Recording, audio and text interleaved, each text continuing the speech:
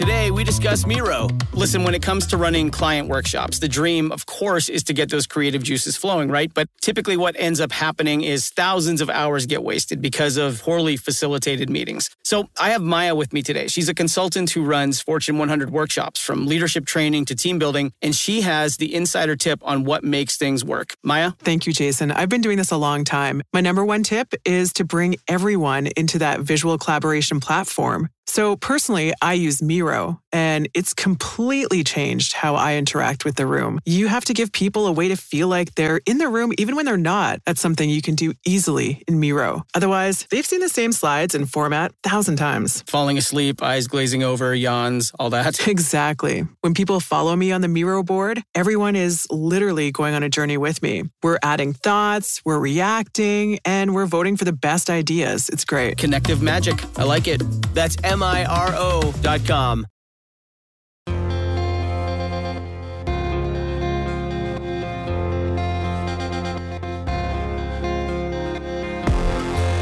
Hello and welcome back to Humans of Speedway. In this episode, I'm chatting with one of British Speedway's real stalwarts. You could call him Mr. Berwick, but Dennis McCleary has dedicated over 50 years to helping run Berwick Bandits, beginning in 1969, and still going. He started as announcer, his voice is still keeping the Shielfield crowds informed in 2021. He's also been program editor, co promoter, team manager, timekeeper, in fact, most jobs other than actually riding the bikes. And during that time, hundreds of riders have come and gone, countless managers, numerous promoters, even a change of speedway track. But Dennis has been a constant rock has witnessed the entire journey. In addition, during the 1970s, he became a qualified referee and ruled over some of Speedway's biggest names of that era. And in 2012, he became a co promoter and helped bring some of Speedway's stars of the modern era to his corner of Northumberland when the track became licensed for FIM events. And also in 2012, he was invited to be the official timekeeper at the British Speedway Grand Prix in Cardiff. It's a true life in Speedway. He's here to tell us all about it in his own words. Please welcome to Humans of Speedway, Dennis McCleary. Hello, Ian. Thanks very much for having me on. No, thanks for uh, taking the time to, to speak with us. And I, I, know a lot of people are, are looking forward to, to hearing your your tales and, and your story. Let's start at the very beginning then. What what's your earliest memory of, of Speedway and how, how did it first come into your life? Well, television Speedway was really all I had seen before Berwick opened in '68. I'd seen, you know, the Wills Internationale, etc. on BBC, and I think Alan Weeks used to do the commentary.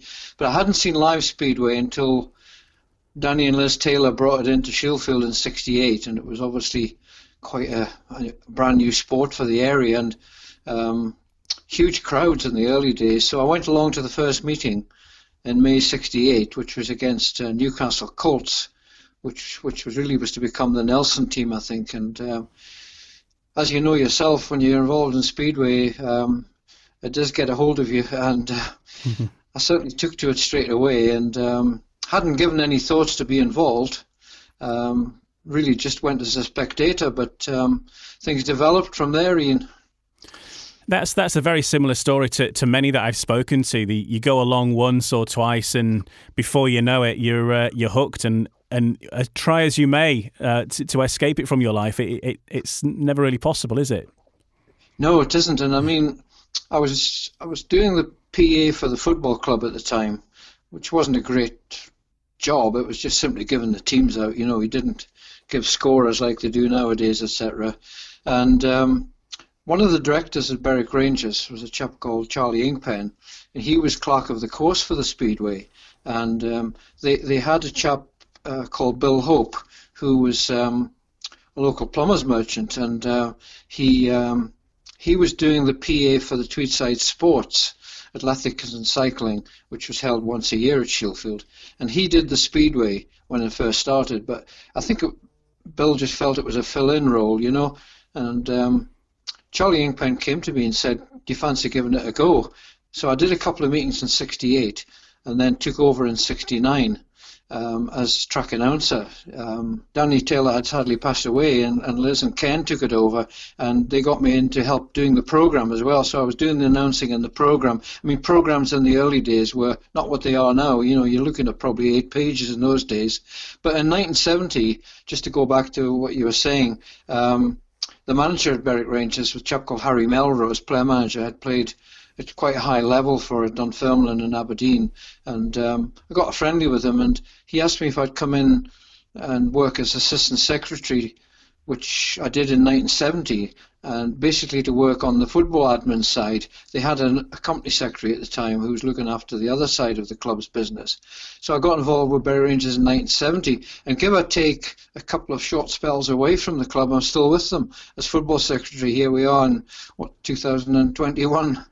Yeah, it's, it's a, a, cracking history of uh, you know the sporting teams in Berwick because they're both very much uh, uh, teams that are at the centre of the community, aren't they? Berwick, a very small and reasonably isolated town, I suppose, in the scheme of, of the whole of the UK. But uh, those sports, speedway and, and football, both now, of course, at the same location again, um, a, a, a focal point for people to get together when, when, of course, we're allowed to do that.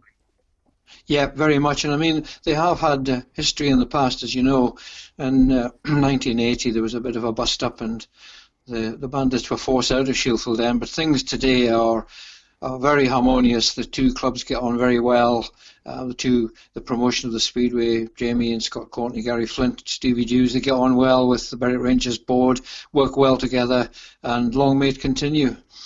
Absolutely. Well, let's go back to those early days then in the early 70s. What were your, you've sort of alluded to some of your duties, but what's your earliest memories of the, the work that you, you started doing at, at Berwick once you'd crossed that, uh, that divide, if you like, from being a, an interested fan to, to being part of the club? Uh, it, it was pretty straightforward, to be honest. I mean, I didn't do anything behind the scenes, if you like. I mean, the program, as I said to you, was pretty easy to do. I had a couple of local lads used to help me with bits and pieces, quizzes and things. But I mean, basically, I, I did the averages as well for for Liz Taylor. It was like a week to week averages basis. So you were changing virtually every week. You know, you were having to do your your one to seven and and put it in place for the following week. Now, of course, it's monthly with the Speedway averages changing. So uh, there was a lot of work. I used to keep the averages up to date for Liz, and um, and then she would give me the teams, you know, maybe on a Tuesday, and so they could slot into the program.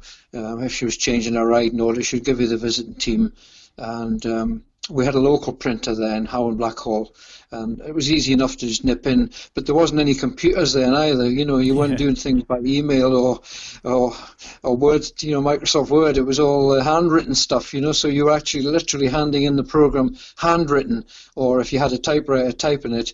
And uh, the pictures that you got um, were, were uh, actual photographs. You know, hard copies. Yeah. Um, that was everything. Now, of course, in my days doing the Bandits program, when I was doing it, it was all done uh, digitally and electronically.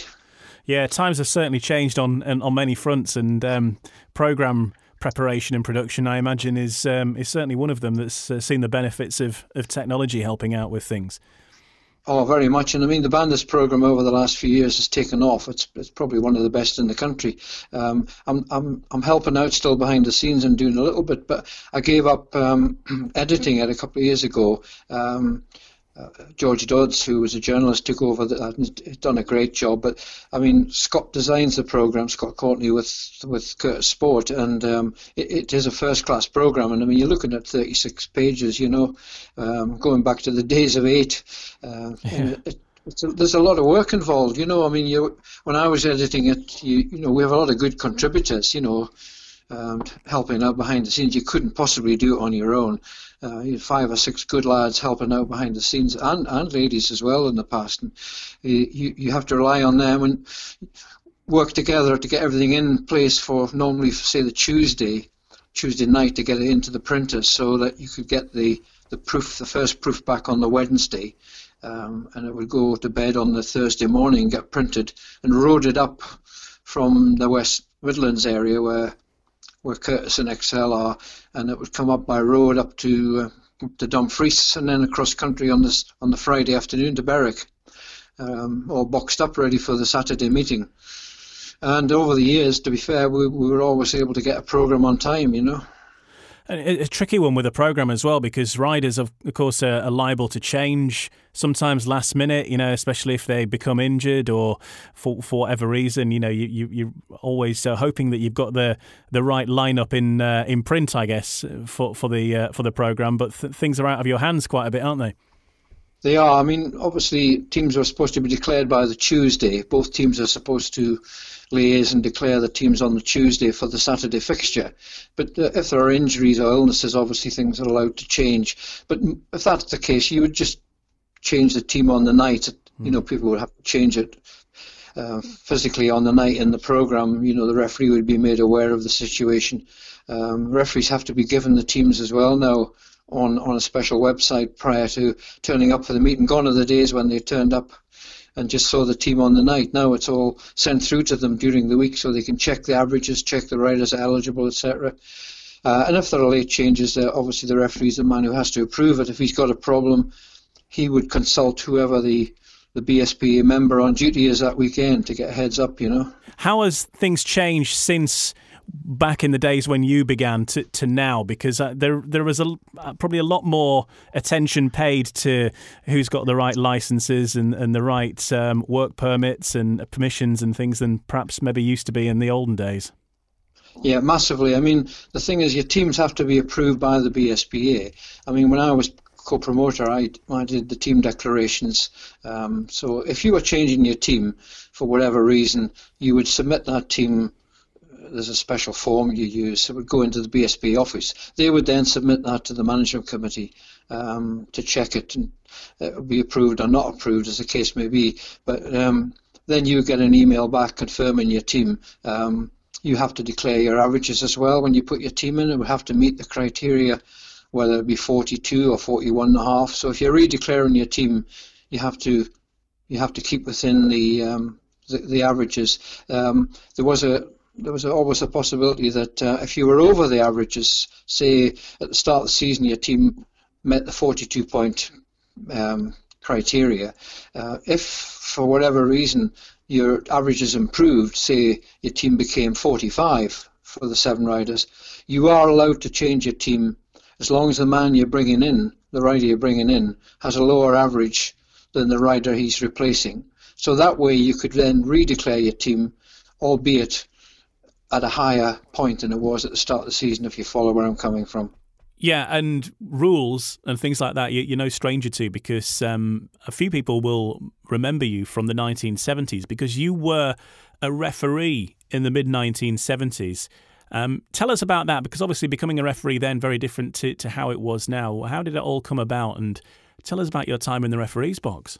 It was easier, can I say then, to what it is now for the for the referees to um, to train. You know, I mean, I had no intentions really to become a referee, um, but sitting beside the referees as you do as an announcer, um, they were they were looking for young blood, and I was I was younger and keener, you know, and, and two couple of referees in particular who both are sadly no longer with us. David Miller, who came from Tyneside, as did Dr. Lewis Jameson, who was a GP in, in Wallsend. They they were the two that really pushed me to put my name forward for training. Um, and I think it was Dick Bracher who was with the SCB or the ACU at the time, and Anne Gillespie was in charge of the office, particularly the refereeing side of it at the BSPA.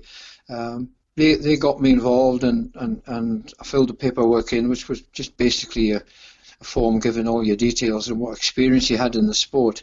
That would be around about 72, 73. And um, I did I did a year of second halves, mostly at Berwick, with the referee. You know, when when you had the 13 heats as there were then, you always had a, a junior scurry or something and a rider of the night, three heats in a final. So I used to take charge of those, and did that for a for a season.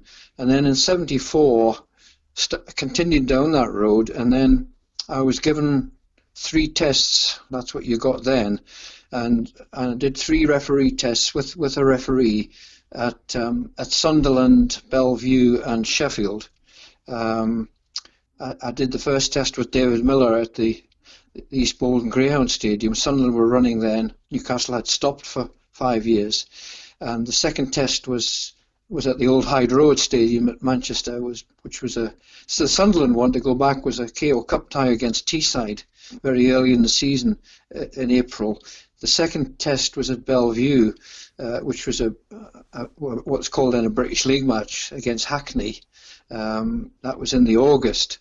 And the last test, to be fair, was the easiest uh, because it was the Bass Yorkshire Open Championship at Owlerton Sheffield with John Whitaker, and that was obviously an individual meeting. Um, but I had a three-man runoff for that one. It was uh, Peter Collins, Sorensen Joosten, and Dave Jessup. Uh, They all I think they all finished on 12 or 13 points. Um, Peter Collins won that runoff, but it was it was a pretty straightforward meeting to run. Um, the Sunderland one, I remember going back to that one. Um, it was uh, it was obviously a local derby. Sunderland got beat 41-37 in that one by Teesside in the first leg of the KO Cup. And I can remember in Heat 2, my second race, I had all four reserves down on the track at different times at different corners. And you were trying to keep pace with who was up first and who was down first. It ended up with, with Alan Emerson and Tony Swales getting a 5 1 for uh, Teesside in that heat. Eventually, there was one finisher for. Um, for Sunderland, and it, it was the late Vic Harding actually who ended up in third place, and the other rider for Sunderland who didn't finish was called Paul Callaghan. So that was the three tests I did, and um, eventually got told over the winter that I had gained a license, so I must have done okay. Absolutely. And so you've got the referee's license in your hands. You, are good to go. Then what happened then? You, you're let loose on the league. What what what was next? Yeah, I was let loose, as you say, in, in 1975, and um, straight in. Uh, I got the first meeting back at Newcastle when they reopened the doors um, in at Easter. It was the end of March in '75. It was a Tyne a Tyne Tees trophy against Teesside, and um, Newcastle won 48-30. Newcastle had a great side in 75-76 era. You know, you had Tom and Joe Owen spearheading that team. They had a lot of good Australians: Ron Henderson, Robbie Blackadder, Phil Michaelides. They were really strong at home. Um, that was the first meeting. But the, the ironic thing was, um, we had moved down to Ashington at the time. I was working for the Wansbeck Council in, in sports and leisure at Newbiggin Sports Centre. So that was a short time when I wasn't at Berwick Rangers. And um, in the morning, we were about, about 20 miles, maybe not even that away from the track. I got a phone call in the morning of, of that match from from the ACU. I think I think it was Dick Bracher. There was concerns about the curbs being some of them being laid pointing outwards. Um, and there was also a hump at the starting gate. Um, I don't know how he'd got the report, but he said to me, "Can you get yourself down there before lunchtime and check the track? And if there's any concerns about the the curbing and uh, the inner edge, you'll need to call the meeting off, postpone it." And I'm thinking, well, they were expecting about eight thousand in for that meeting, which I think they got from memory. And I'm thinking, I'm going to be the bad one here, calling the meeting off. However, uh, as push comes to shove, everything was fine. The, the, curbs were fine, the track was fine, and, and we ran the meeting. And uh, it was pretty easy meeting to referee because everybody was desperately happy to get get a good night and get it over with easy. We had match races as well that night. Ivan Mauger was riding. He beat Jimmy McMillan in some match races. So so that was the first meeting, and I'm sitting thinking, oh, this isn't too bad. And then. Um, the court freeze all hell let loose at Teesside on the Thursday night afterwards in the league match. what happened in that one? Well, it was it was Workington in a league match. Um, it was about four nights later, and um, you know, lighting was never brilliant, as you know, at some of the tracks, and still in the early, excuse me the early part of April, so it was, it was getting still pretty dark quickly. Um, I had a situation in, in one of the early races um, when Stevie Watson, who was riding for Workington, uh, sort of locked horns with Pete Redding of, of, of Middlesbrough, or Teesside, going down the back straight, which is the worst possible place for a referee to make a decision without the, the benefit of what they have now, you know, um, replays. Yeah. And the two of them crashed into the, the what would be the third bend fencing, and I, I honestly hadn't a clue who was to blame. Um, so after a while, I decided to contact the announcer, who was Bernard Gent. He was in a separate box, and just say, look, I, I want you to explain that the referee can't can't decide who was to blame, and he's prepared to let all four riders back in. I think it was on the opening lap. and uh, I never heard a, I never heard a peep from the pits, so they must have all been happy about that one. Yeah. and later, in, later in the meeting, it was pretty close, and it was going towards the last heat decider, heat 12 of 13.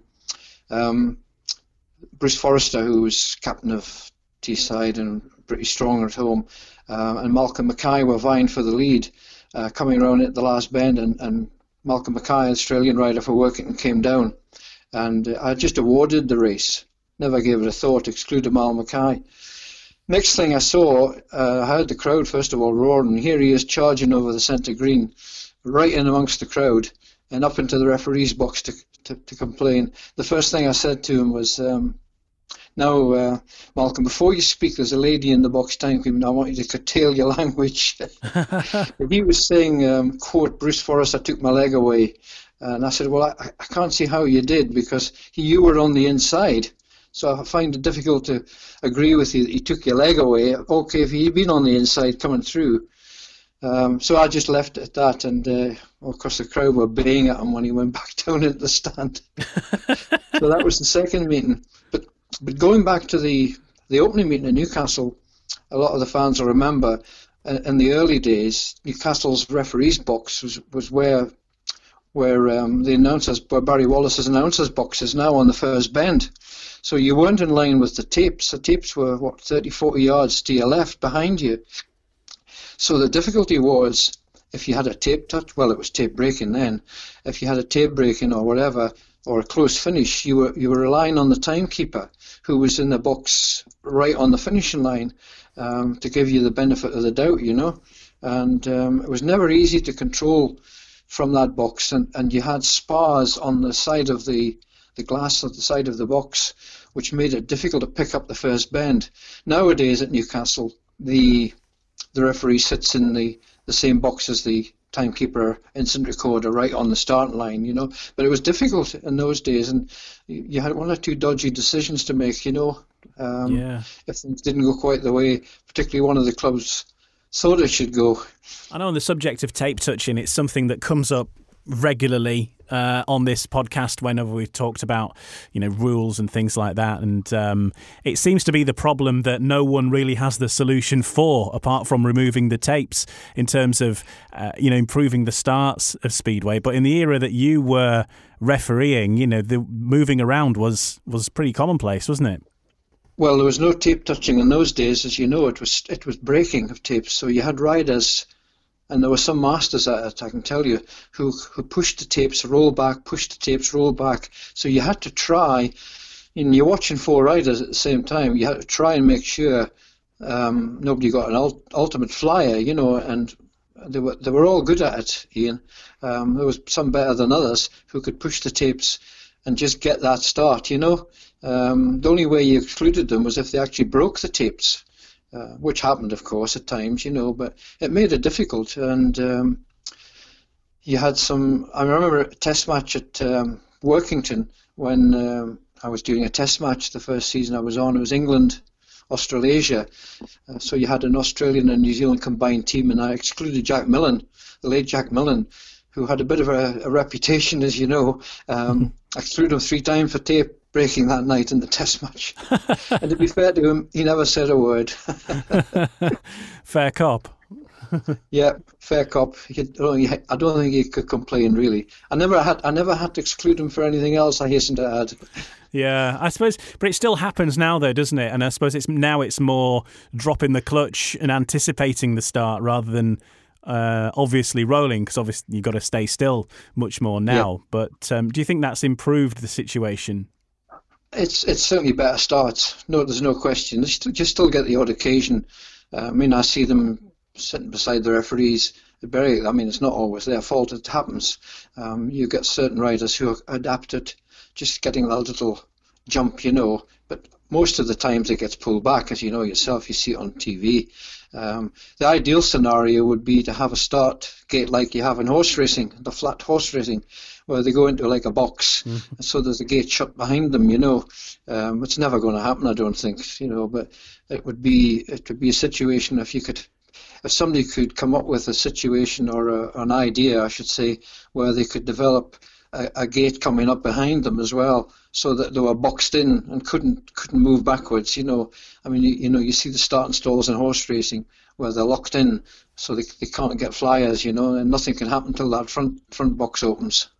Sort of modify um, so many um, so many speedway tracks at greyhound stadiums. They could modify the, the greyhound box somehow, make a bit bigger.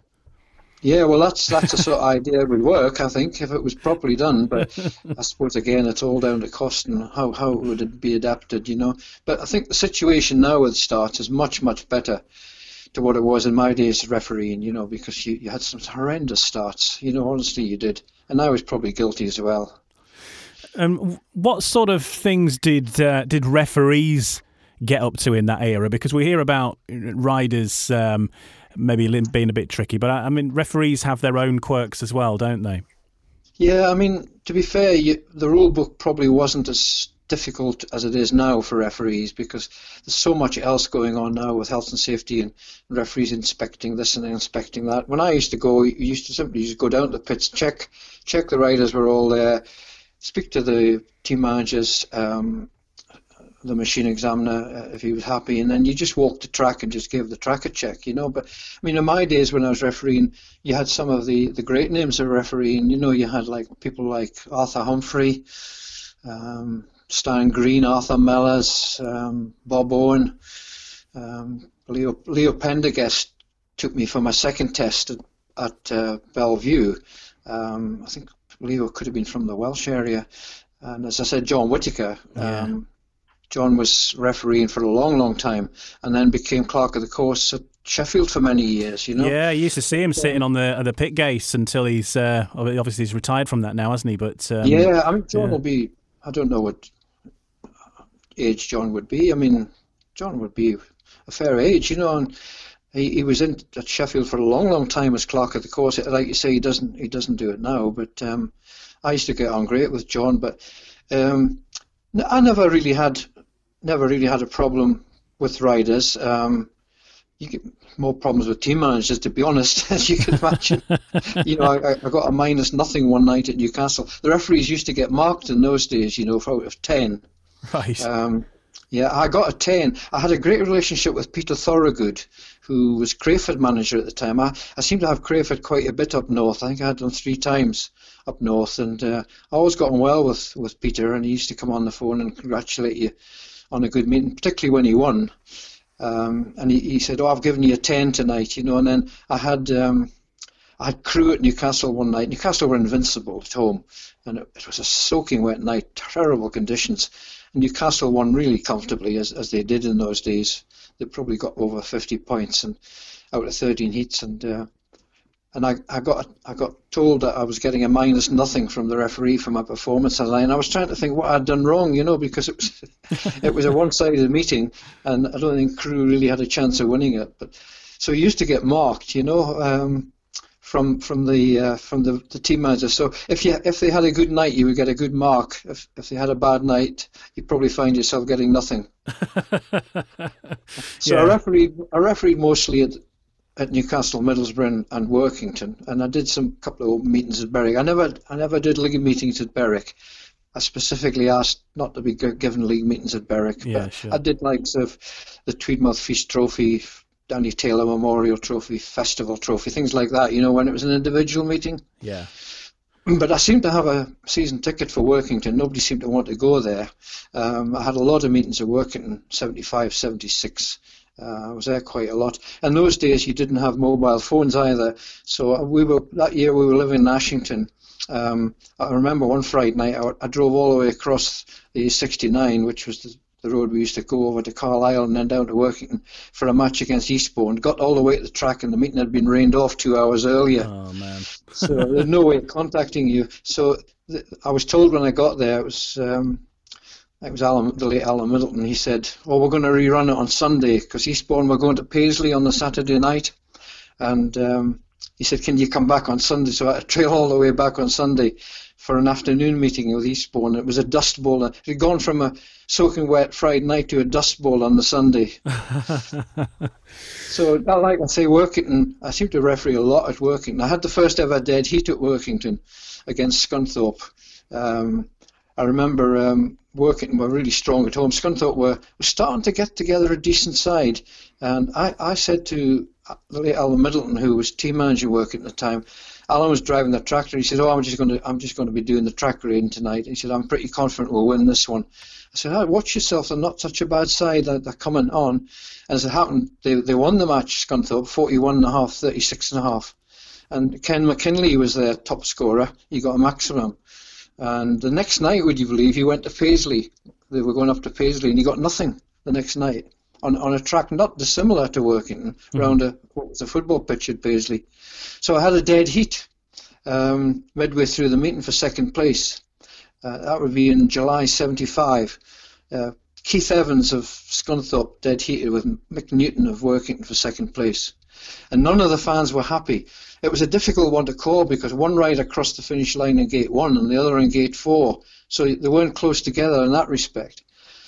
And not, nobody was happy. And one of the Workington fans came and put the evening paper up, pinned it up in front of the box so I couldn't see out.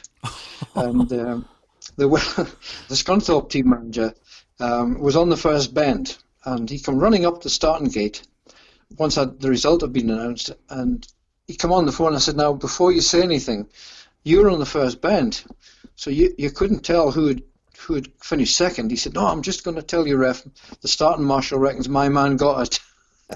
of course he does. so it was it was 36 and a half, 41 and a half that one. So that was that was Workington. So I had a lot of meetings at Workington. Um, happy days in '76. I had I remember one meeting at, at Newcastle. Um, it was a bank holiday Monday against Coatbridge. I was held up before the bypasses at Alnwick and Morpeth on the A1. Folks that will know that area, and I was I, I got stuck in heavy heavy traffic. I had to phone the track and tell them I was going to be very tight for the start, and actually missed heat one. Um, Alan Butterfield, who was a former Newcastle Diamonds rider, was training as a referee at the time, and um, he he did heat one. So I managed to get in to, to get the start of heat two.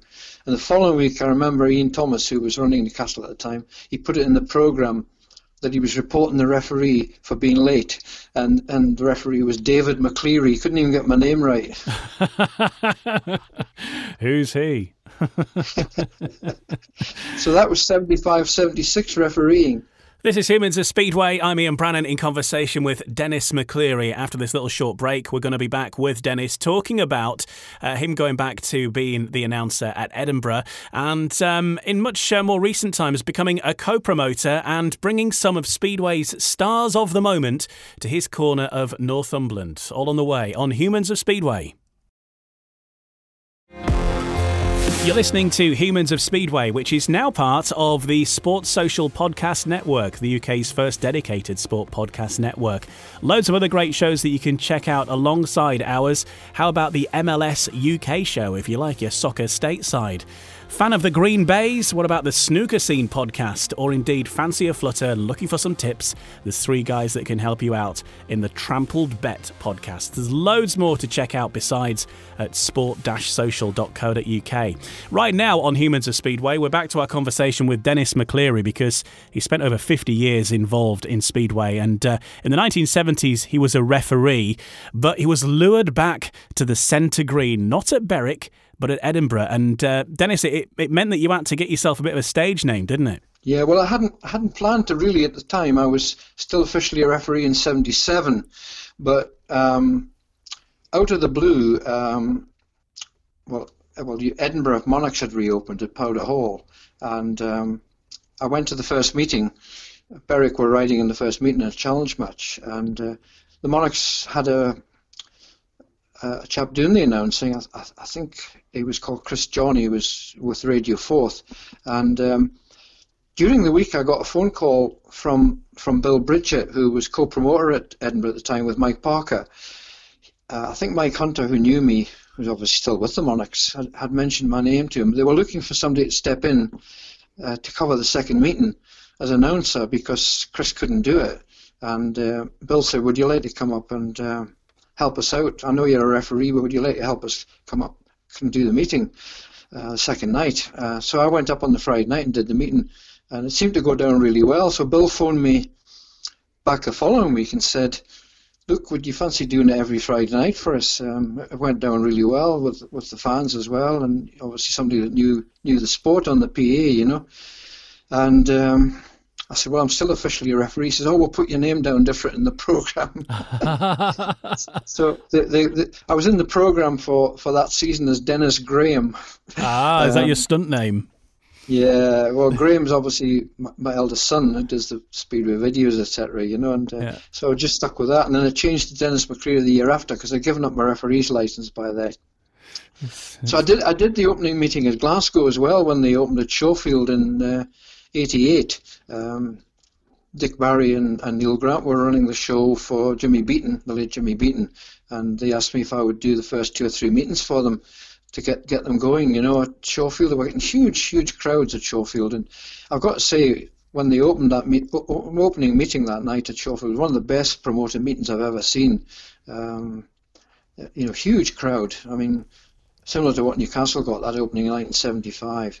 We've spoken about the importance of having a well presented meeting before on other episodes I've done, both with riders. I know Shane Parker mentioned it.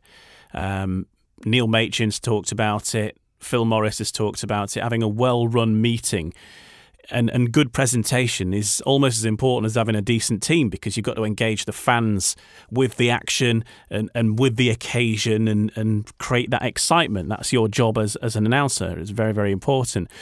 What's what's the what's the trick? What's the magic? Because you've been doing this for over fifty years. You keep getting asked back to big meetings even now. What's the secret, do you think, Dennis? You have to I find a lot of people get too close to a microphone, and you have to keep that certain distance away from the microphone in to get to be clear and concise. You have to lift your voice decibels to what you would normally do. Um, you have to be you have to try and think ahead before you speak. I know that's difficult at times, but you have to try and um, just think now. What am I going to say before you say it? You know, yeah. Because I've been to tracks where announcers have put their foot in it and have, have upset people, but maybe not deliberately. I've done it myself. I've I've said something and then afterwards thought, goodness, I wish I hadn't said that. Now, um, you must try and be totally unbiased. Um, it is difficult when it's your home track, uh, but it is in the SCB rule book that the announcer must be impartial at all times.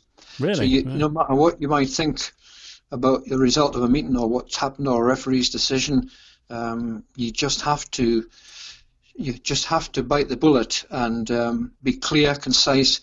Make sure you give the result because that's happened before to me. I've forgotten to give the result, um, or forgotten to give the time. And rest assured, the fans around you will soon tell you. Oh, you um, can't you can't forget to give the time. Oh, there's oh, no, ructions if no, you do that. Time's important, yeah. especially if it's a track record. yeah, yeah. So that, that's the basis of it. Um, also, I, you have to prepare. Um, I, I tend to take a lot of notes around with me. You might not use them all, but but fans like to hear little bits and pieces about, particularly the visiting team. You know where they'd been the night before, what the result was, who scored the points. Um, looking ahead to the following week, who were racing the next week, who, who was going to be coming in the team for the visiting team, um, or if the bandits were going to be away during the week uh, where we were going to be, um, keep an eye on the, the updates, etc. Um, if there were going to be top visiting riders coming, you know, you try to boost boost that meeting up. Uh, no matter who was you were riding against, you had to try and boost that meeting up the following week, you know. So be clear, be concise, try not eat the microphone, um, be impartial, and do some homework. So th- yeah. those are the the jobs I've tried to find um, time to do, if you like, during the years I've been an announcer. And and really too, you probably earn your your money at the point where the excitement's not required when you've got an awkward situation, you've got a bad crash, and yeah. you're trying to reflect the the mood, but also keep people informed as well. That's right. I mean, the good thing is if you've got a good centre green man working with you who knows the ropes, um, you know, Steve Steve's done it, Berwick, Steve Hayward, who's who helps in the box now, and, and Dick Barrie's done it for donkey's years, you know, and um, they tend to come in straight away at the end of the, the race. Mm. Um, and give a little bit boost to whatever's happened. Um, so then you, you just come in and, and do what's necessary, you know. Um, uh, try not try not get involved in seeing what's happened or what what you think might have happened in that race if they have, like as you say, there's been a nasty crash. I remember one night at Powder Hall, um, I couldn't speak because I thought I thought Eric Broadbelt was really really seriously injured. Um, he, he, he came off on the second bend and and, and flew into the, one of the lamp standards, you know, because mm. obviously it's a greyhound track as well. So you had the poles going right round, and you know, I'm thinking, is this lad going to get up from this, you know? And he, you just don't know what to say. Luckily. Eric was, was up and about, and uh, he was off the track for a couple of weeks, but he was back, getting the applause of the crowd the next week. And I'm thinking, goodness me, Eric, how did you how did you get up from that one, you know? And you're thinking, what what can you say? Speedway riders have uh, seem to have a habit of bouncing back from sometimes crashes that look spectacular, and and often it's the ones that don't look spectacular where they they sometimes turn out the worst. Oh, I know. You know. We've seen them at Berwick. I mean, Alex Edberg got a very very bad injury at Berwick one night, and um, we've. It just he came around eventually, but he was he was really badly hurt. And then you, you had the Carlos Villar situation early in 2000 when an innocuous crash. Carlos miles in front on the last lap, clipped the fence on the back straight, came down, and I, th- I think his, his machine followed him down the track and, and struck him, you know, and, and Carlos was paralyzed, you know, um, Argentinian. Um, and then you, then you have what happened to Ricky, you know, Ricky Ashworth yeah. with his injury in uh, 2013 um, when Ricky had been with Berwick just over a year. Um, you know, and Ricky, we thought really feared for Ricky, um, but marvelous recovery. I mean, uh, Ricky's obviously not 100%, but my goodness, he uh, he's grafted away there. He's battling, isn't he? Um, yeah. Yeah, and uh, he's been up at Berwick a couple of times, and we've been down to see him, and uh, you take your hat off to him what he's achieved since that accident. Yeah, it was great to see him back on a uh, you know, the push bike when he was riding around the, the velodrome in Manchester. You know, it was obviously a really big thing for him to, to get back on any kind of bike and, and show that he's determined to to, to get back as, as, as well as he can possibly be. It's um, you know it's really good to see that he's he's, oh, he's, he's got a marvelous family behind him as well. You know, yeah. and um, he's uh, his spirit is tremendous, and uh, he won't let anything knock him down. You're listening to Humans of Speedway. I'm Ian Brannan, and I'm in conversation with Dennis McCleary, who's spent over 50 years being involved with Berwick Bandits Speedway. Dennis is going to be telling us about how his dream Speedway meeting would look before the end of this. Um, let's turn to your time with Berwick now, because as I mentioned, there over 50 years, doing all sorts of stuff. You've you've mentioned you've been involved with the program um, at Berwick. You've been an announcer, uh, both on the centre green and and in the box as well. You've been a timekeeper. Um, you've also been a promoter yourself, um, co promoter uh, at one point, but you've worked alongside many other promoters in that time. I imagine Sublime to the Ridiculous pretty much covers it over that time because there's been some sensational times at Berwick. Um, what are your memories of, of, of working with those various promoters and, and the things that you've been involved in during your more than 50 years with Berwick? I've, I've worked with a lot of promoters at Berwick, you know, the Taylor family, um, Davy Fairbairn, Dick Barrie, Ian Graham, um, Mike and Yvette Hope, Peter Waite, um, John Anderson and Linda Waite Consortium, and then John Anderson along with Ryan, his son, and uh, George Hepburn. And uh, I had a, had a, spell with, with Scott and Jamie Courtney, um, and of course Terry Linden, who um, who came in uh, for 1990 as promoter uh, without any speedway background, but had been involved in in sport in, in Northumberland. He'd, he'd helped some of the the lower league football teams in in the county. Um, the the club looked as if it was going to the wall um, because Ian Graham had been such a driving force for the club um, uh, and passed away in, in 1989 with after fighting cancer for so long, and he obviously was was a mentor with with Davy Fairbairn, and I don't know if Davy ever got over that. And um, I mean, they had such a good side in '89. I mean, they won the KO Cup. You know, they beat Poole. They had a terrific side. All seven of them were capable of scoring points. You know, you know, you had Mark Courtney and Dave Blackburn, Andy Campbell, David Walsh, mm-hmm. uh, Rob Grant, you know, Scott Robson. a great, great side. And um, and Davy decided he'd had enough, you know, and uh, the club was up for sale, and it, it, went into the new year, and eventually um, Terry appeared on the scene and, and took over. And in fairness, um, Dick, Dick, worked with him as well, and the the the, cl- the club were very strong on the track in that in that era. They had a good side, uh, even in the year before they went into the top league. Nobody ever expected that to happen, but they went into the top league in in '91, and um, they had a world class team. You know, they yeah. had they, they signed Kelvin Tatum and and Jimmy Nilsen and Richard Knight as the three heat leaders, and they they could have won the league that year, but for the injuries to Kelvin and Michael Blixt at Oxford in the Gold Cup final, second leg. And Berwick had won the first leg against Oxford, and were comfortably winning the second leg. And um, in Heat 15, an innocuous incident, Michael Blixt collided at the back of Kelvin coming out the second bend of the first lap, and Kelvin went through the fence and and uh, and really hurt himself. And and Michael Blixt, who had been signed from Peterborough, and was a real prospect and a half, Swedish rider, um, he shattered both his wrists, mm. and and that end, virtually ended his career. I think he made a bit of an aborted comeback, but never it never worked for him, and he and he became a involved in the machine side of Speedway. He, he was doing Blix carburetors, uh, the last I heard. Mm-hmm. Uh, the, I think Berwick would have won that the top league that year. They they ended the season without those two riders, and the season sort of fell apart a little bit, and um, I just it just didn't work. But they they dropped back into what is now the Championship League. It was in the second division in '92, but Richard Knight stayed on and uh, was a 10 point plus average rider. And again, they had a very good team in, in 92. They kept a few of the riders who were with them the year before, and they finished runner up that year. Um, again, they could have won the league. But things weren't happy behind the scenes, and um, uh, and Terry uh, Terry departed the scene, and um, we looked as if Speedway was lost to Berwick altogether.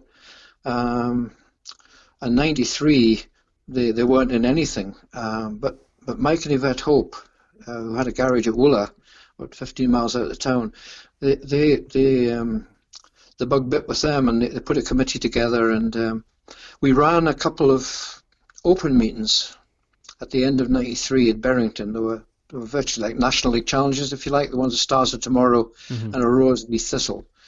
Joined the Academy League, I think it was called in, in '94 and won the league. We're very strong. Kevin Little was spearheading team, won the Riders' Championship.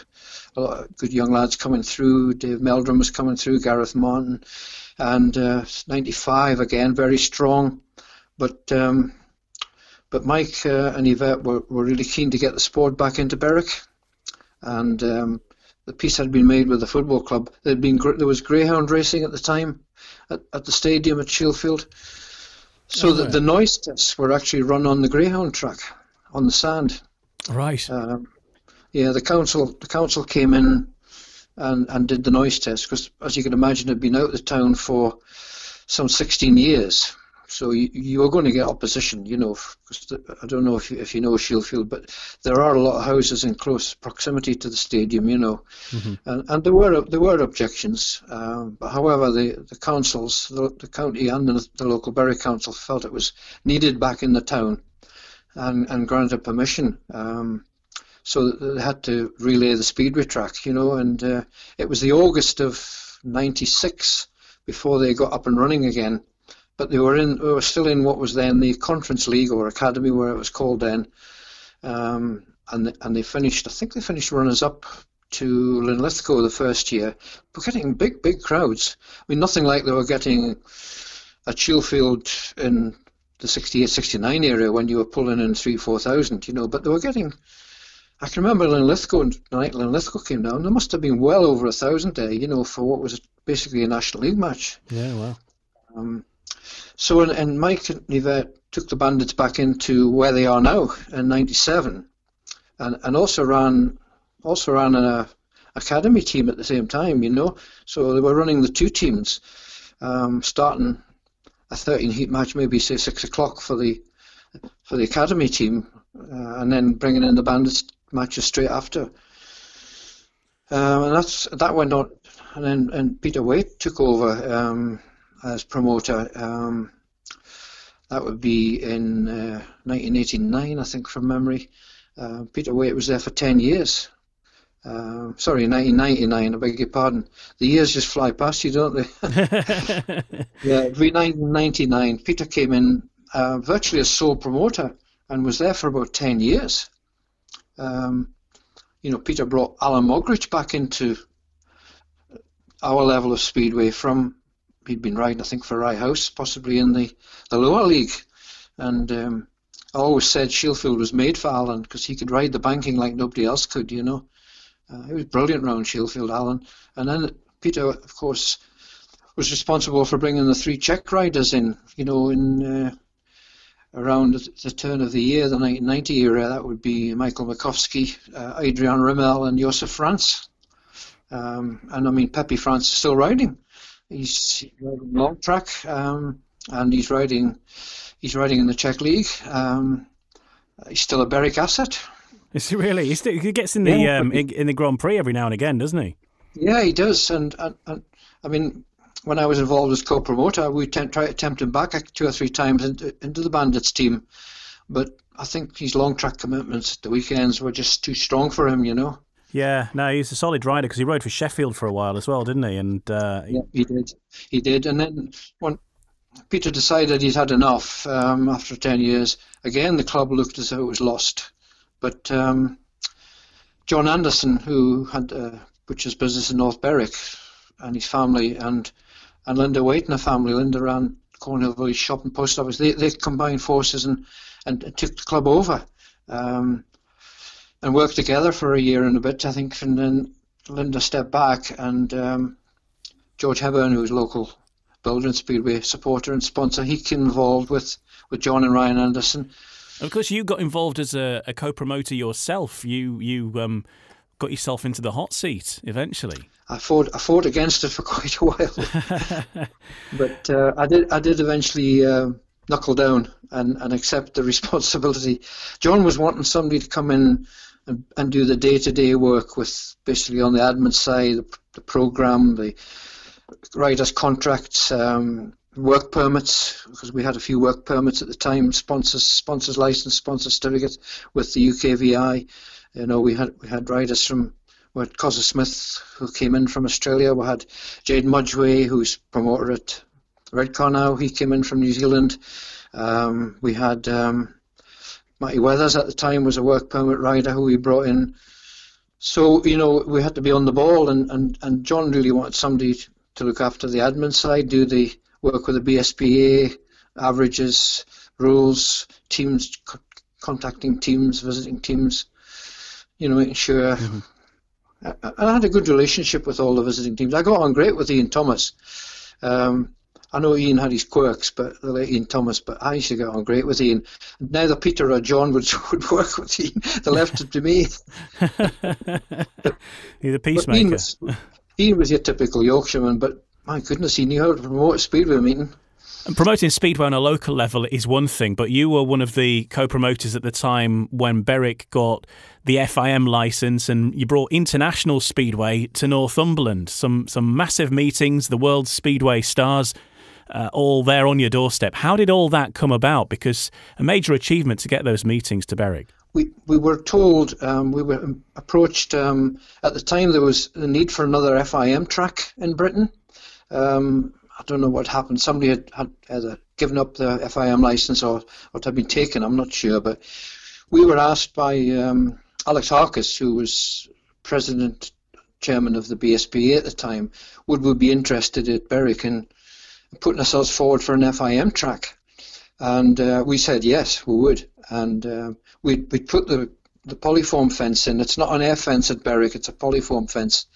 Um, you know, with the they're like um, little balls inside them. You know, mm. Um, I don't know what you describe them as, but uh, it doesn't collapse, you know, and doesn't Yeah. need taking down.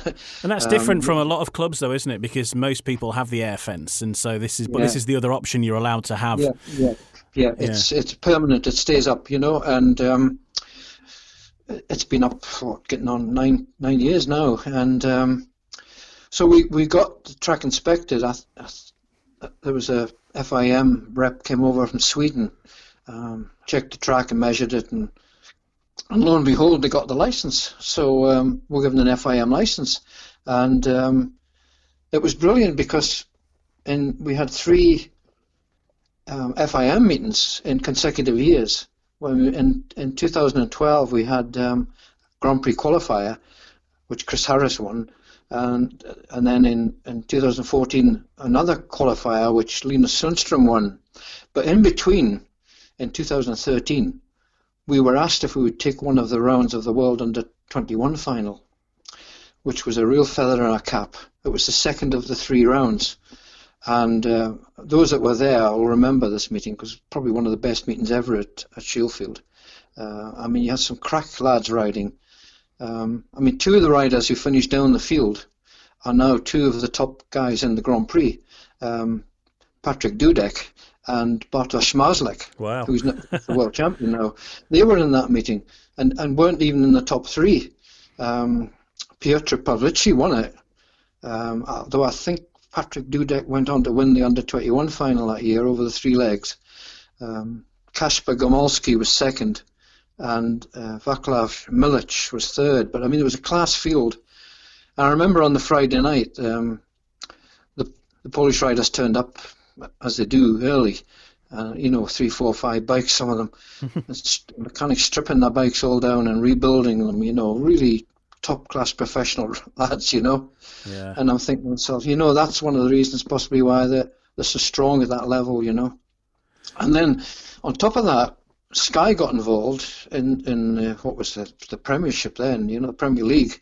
And, and we had four Sky meetings in four years 13, 14, 15, and 16, you know, and we had Newcastle, Edinburgh, Peterborough, and Workington in four matches. We won two and lost two of those. Yeah. I So I mean, there were, there were heady days for the club, you know, and um, busy, busy times, as you could imagine. I mean, putting up putting up a an FIM meeting there's a lot of work involved. You know, I mean, it- people don't realise what was going on behind the scenes. You know, you had to get accommodation sorted for riders. You had to get there was so many staff involved. You know, machine examinations, very similar just to like a Grand Prix. You know. and where do you put up the world's speedway stars when they descend on Berwick? What, what's the uh, what's the accommodation of choice round there? It's it's surprising. There was there's, there's travel lodges around, you know, and there's um, some just out of the town, and uh, we've got some good people who are involved with the speedway who had who knew the meetings were coming on and and, and kept rooms back, you know, um, hotels and guest houses. So we managed some of the riders. Um, I think the practice was on the Saturday, um, so a lot of them, one or two of them, I should say, more of the the British-based riders just turned up on the Saturday morning, you know, and, and, and went back after the meeting. Well, one of the meetings rained off on the on the Saturday night, and because Berwick doesn't have a planning permission for a Sunday, we had to rerun it on the on the Monday, the Monday night. That would be the one that Linus Sundström won, uh, Grand Prix qualifier. Um, a couple of the field couldn't couldn't come back for that one, so there was there was a changes to the lineup. Um, but there was a bit of a hoo-ha because some of the boys were riding in Poland on the Sunday, even some of the Brits, British lads.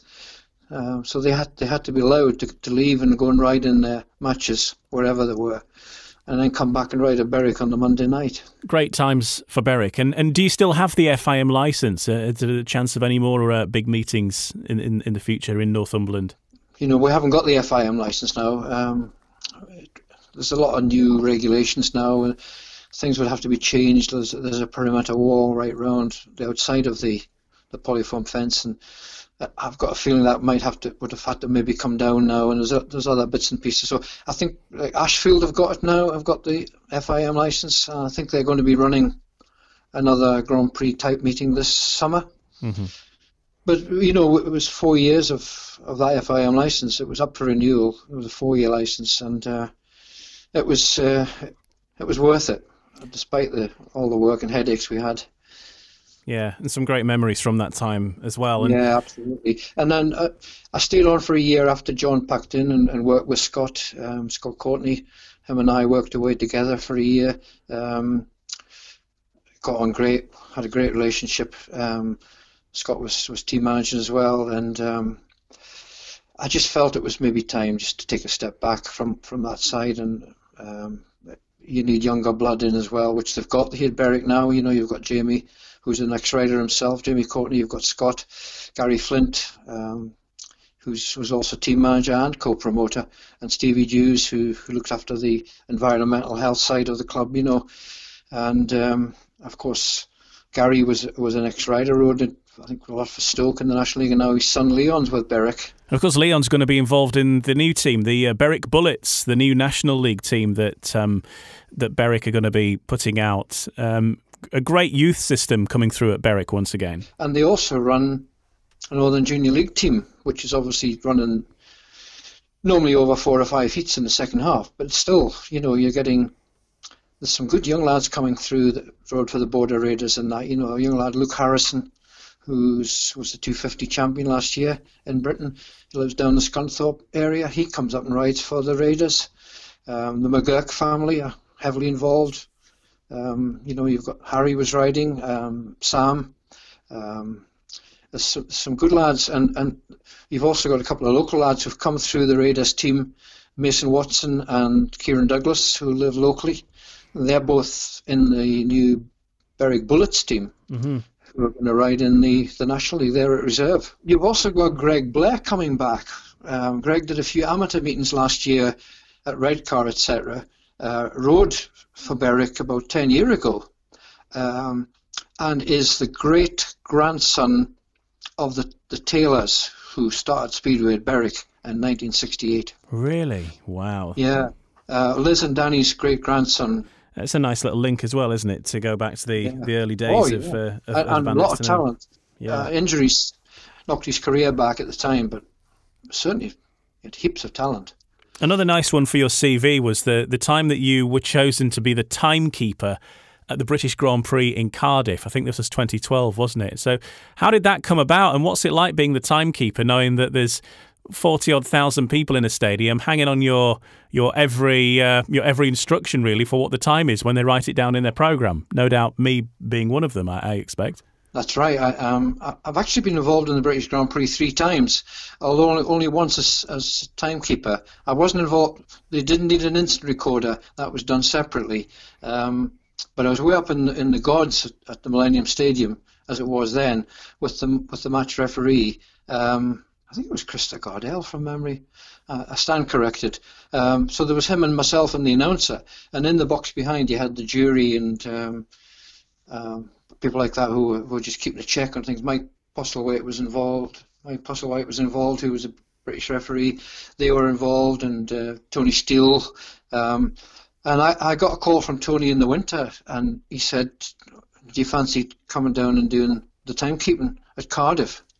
So um, yeah, I went down, and uh, we, my son went down, and Graham went with us. We flew down to Cardiff, and uh, we stayed at the the Holiday Inn at Cardiff Airport. I just rented a car and um, I was team managing the Bandits and the Pairs at Somerset on the night before, ah. um, on the Friday night. So um, killed two birds with one stone, if you like. and, um, yeah, I got a track record as well at, at Cardiff. I was going to say, I'm um, sure the track record went in 2012.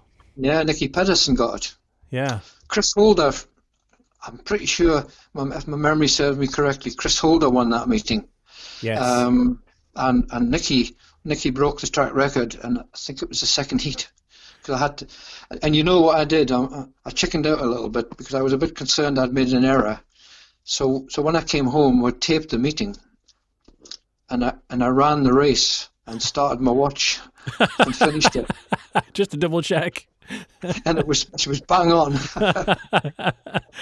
Um, what's the the dark art then of, of being a timekeeper? When do you start your stopwatch, and exactly when do you stop it? Is there is there a particular knack to it? As soon as you see the tape twitch, right?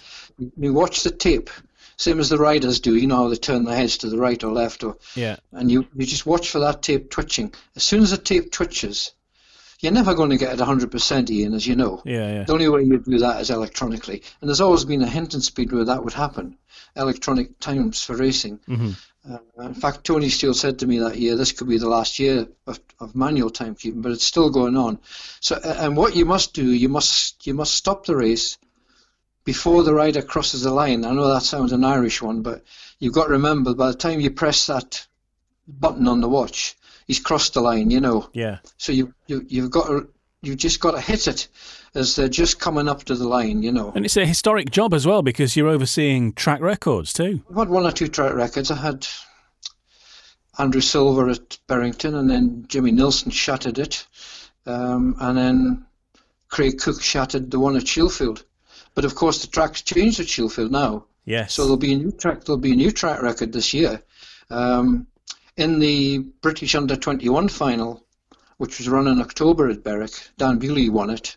He he clocked 62.9, which was quite an exceptionally good time. That's on the so that's that's the new track record as we stand at Berwick at the minute, 62.9. Wow. By Dan Bewley.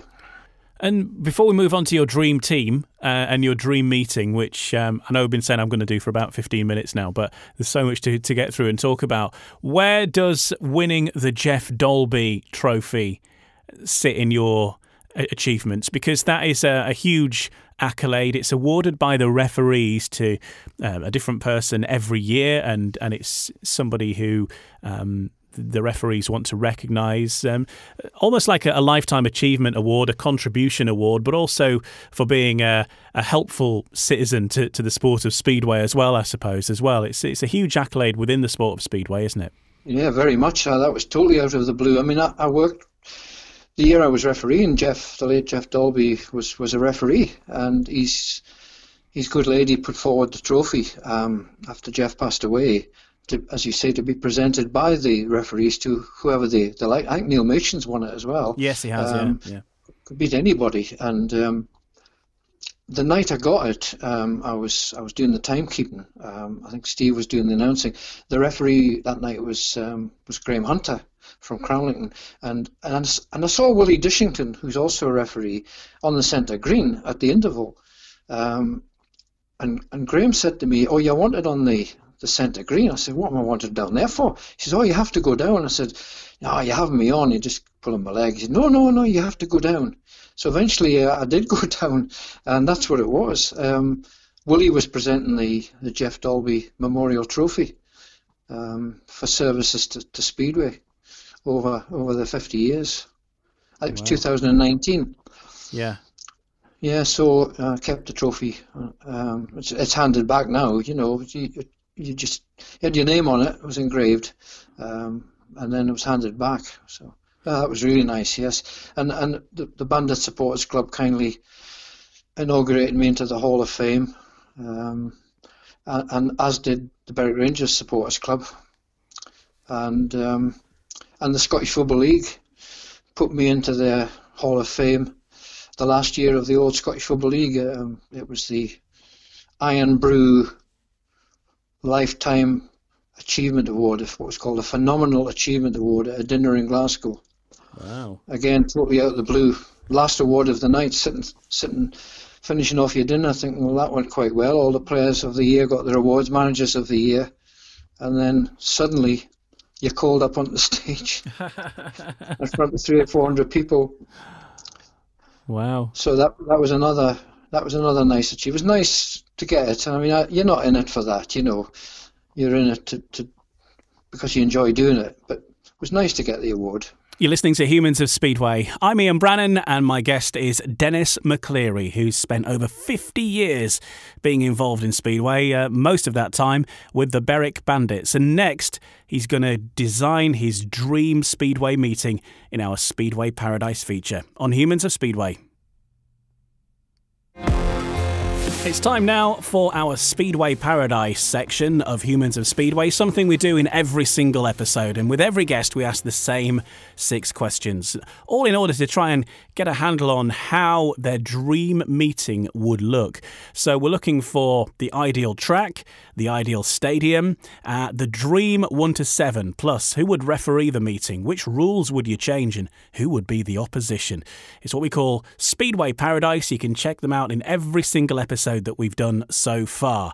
And uh, this one is no exception. So over to you, Dennis. If you're designing your dream Speedway meeting, first of all, which track would you choose purely for the shape and the shale and for the racing? Which track would you be having your dream meeting on? Well, I, I could say Shielfield, but I'm going to say Berrington because it was such a unique little track. Um, but it was obviously built from scratch and it, it was very small, but my goodness, the racing around there at times was something else. So I would I would say yeah, we'll we'll run it at Berrington if it was still there.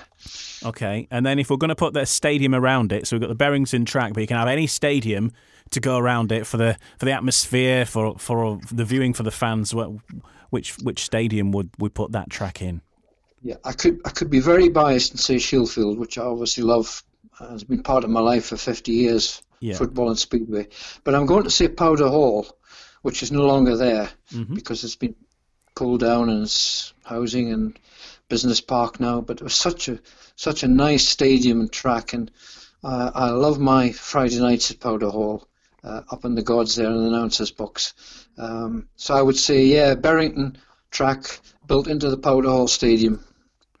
Yeah, because Edinburgh's uh, got a, a, rich history of, of, speedway, hasn't it? I know that it's at Armadale now, but they've they've had Powderhall, they've had uh, Meadowbank as well, haven't they? So many great yeah. stadiums. Marine Gardens. I mean, Meadowbank. I mean, I, I never went to Meadowbank, but when you see photographs and and um, you see um, video action from there, the crowds were absolutely sensational in the '60s era. You know, when when the Templetons rode for them, and Bill Landels and um, Reidar Eide, uh, Bent Larsen, uh, Bent Janssen, sorry, and um, mm. but um, Bert Harkins was riding then, you know. Yes. Uh, yeah, tremendous. Um, and of course, Armadale now is is out on the M8, you know. Yeah, it's it's a little bit more out of it, and yeah, Meadowbank, of course, was is much more just outside the city centre, isn't it? It's um, more yeah, accessible. well, just just more or less just below where the the Meadowbank Sports Stadium was built for the Commonwealth Games. You know, yes. for 1970, that was one of the reasons they lost the stadium. Uh, they put the velodrome in in that area where the speedway was, I think, and um, and now, of course. The Meadowbank Sports Stadium is, no, is also down now. They're, they're rebuilding that to probably a lesser extent to what it was, you know. I think that that's where Speedway in my family originates from, actually, in Meadowbank Stadium. My grandma uh, grew up in Edinburgh. She's Scottish. She, she grew up in Edinburgh. And it was my grandma that took my granddad along. And uh, they used to go to Meadowbank in the 19, well, probably the 1950s. Yeah, and, I would have uh, loved to see um, racing at Meadowbank. I, I, Mike Hunter kindly sent me a, a DVD down. I said to him, "Is it possible you can send me a DVD of action from Meadowbank?" Yeah. And he did. And lo and behold, he had forgotten about it. But on the very end was the very first ever race at Shielfield in 1968. Wow. Berwick Newcastle Colts. Heat one. Filmed from what is the third bend area, banking, by a Monarchs supporter. Wow! So just a little so, bit of extra bonus bonus footage, yeah, but it was uh, so, history we've saved it obviously, mm. and when the time comes, we're gonna we're gonna put it up. You know. Fantastic. Yeah. What? one, um, Roy Williams, or and Bernie Lagros as he was, um, Roy Williams, Brian Black, five one for Berwick over Dave Schofield and Jack Winstanley for Newcastle. Well, a good way to start at your new stadium. Yeah. They lost the meeting in the end. oh, well, yeah. Well, how often do we yeah. see that? Five ones at the yeah. start and nothing at the end. That's right. Well, I don't know if you recall Murray Burt, who was a Kiwi, I think, from memory. He was riding for Newcastle. He got a maximum that night. So your your dream team then, your your individuals, no no rules, no points limits or anything like that. So who's going to be riding in your in yeah, your dream I've, team? I've gone I've gone with um, I've taken the easy route and I've gone with the Berwick team, and I've basically taken them from the top 10 all-time scorers and Berwick colours, and I've mixed it between the two tracks, you know, Shielfield and um, and Berrington. Mm-hmm. Some of the lads will have ridden just the one track, some have ridden two. But I've I've named an eight-man team. I hope you don't mind because I found a great difficulty in in picking the last rider. Yeah, no no rules. You're all right, Dennis. You can go for it. Yeah, in no particular order. I've chosen Michael Makovský because he's a top point scorer for Berwick all time, Czech Republic. So I've got Michael Makovský, who leads the way for Berwick all time po- point scorers. Uh, Rob Grant, who was Mr. Berwick, particularly around Berrington, was, uh, took no prisoners on the track, but such a lovely chap off the track, you know. Uh, I could never name a team for Berwick without Rob Grant. Steve McDermott, who came into the Berwick team from Edinburgh um, under a bit of a cloud because I think at the time Edinburgh thought he'd been poached by Davy Fairbairn. To the extent that in the programme one week when I think when Berwick were there they put a cartoon in um, and it was a Davy, Davy Fairbairn. And out of one pocket was a fish because Davy was a fisherman and out of the other pocket was a wad of cash. I think that was a hint. Steve was Steve won the um, Riders' Championship for Berwick in '83. Um, I think that would be at Wimbledon. Um, next in line, the late great Wayne Brown, the mighty Atom. Wayne came in as a little boy from New Zealand, uh, hardly five foot, struggled for three years to make any sort of impact, and then suddenly took off. Um, became in one season from a four point rider, a nine point rider, uh, up to 10. Won the Riders' Championship for Berwick in 1980, uh, beat Hackney, I'd imagine.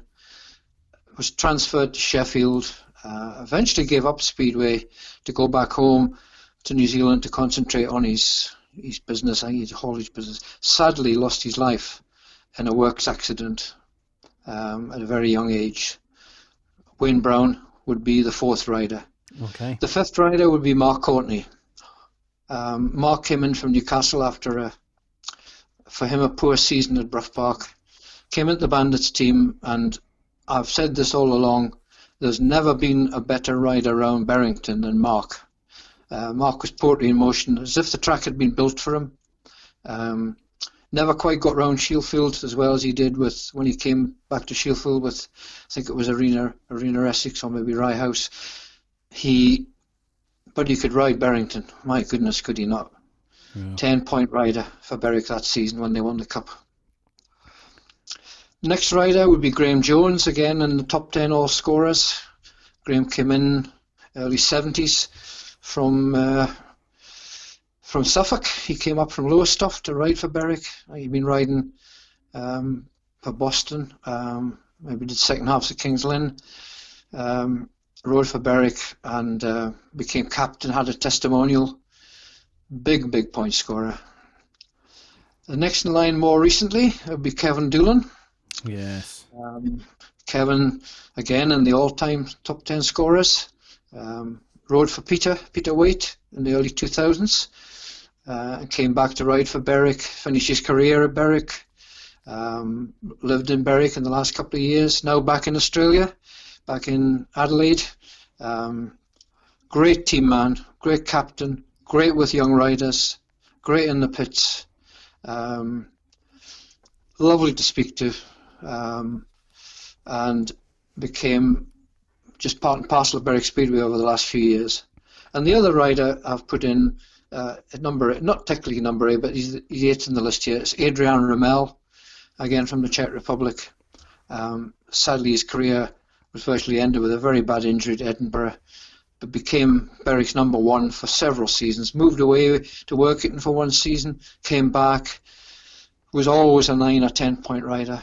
So there's the eight riders, Ian a great lineup as well, and particularly Kevin Doolan. Uh, I, I, remember I mean, you said there he's a great team man, great with great with everybody. But I, I, I distinctly remember him a few years ago at uh, at Somerset uh, on the pairs the night before the the GP, and uh, his night was over, and um, he'd, he'd, taken his last ride, and he came and I mean I was stood on the third and fourth bend at Somerset, and he came out and he was just sat with the Berwick fans having a can of cider. It was just like nice to see. He's still there with his uh, with his Kevlars like tied round his waist and just enjoying like everybody else. You know, it was, it was, great. Yeah, he did that at Sheffield as well when he he had a couple of meetings riding for Berwick in the Riders' Championship, and he was in amongst the crowd on the, the Bandits fans were on the second bend.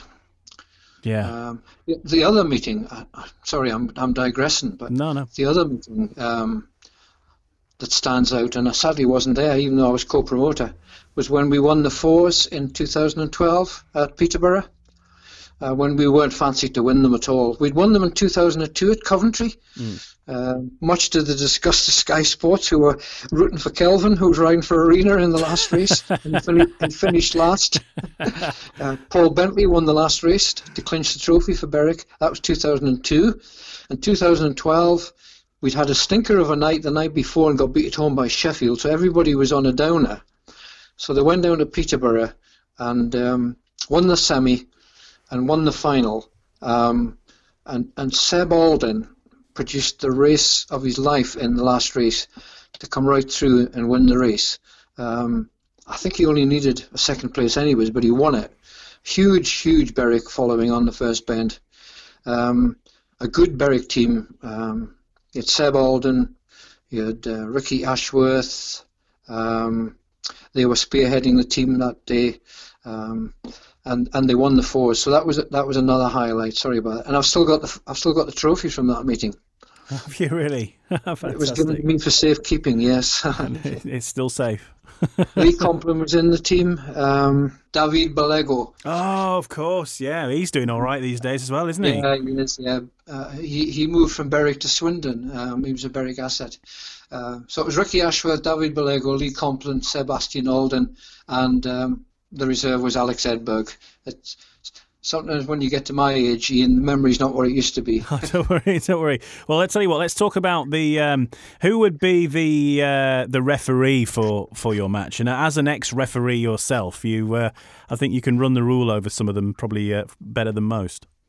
Yeah, I mean, I get on great with the referees, um, the current referees. You have to, haven't you? You know, I mean, yeah. Um, I mean, I, am delighted how.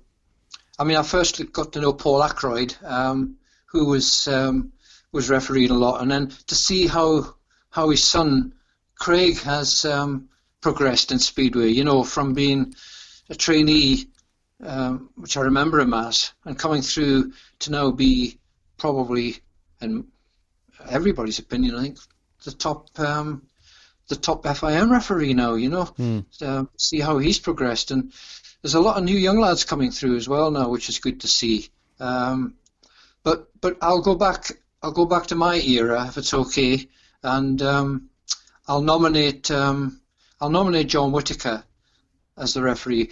One of the reasons being John took me for my final referees test at Sheffield, which was the um, that meeting I was telling you about, the um, Bass Yorkshire Open Championship. Yeah.